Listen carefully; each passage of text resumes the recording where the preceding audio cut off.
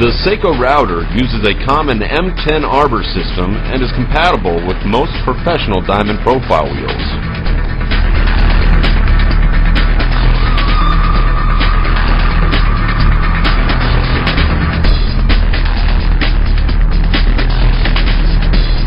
The powerful 110 volt 3 horsepower motor delivers a variable speed up to 8500 RPM. Utilizing a unique belt drive pulley system, torque from the router's motor is doubled at the arbor. This results in consistent bit speeds even under heavy load.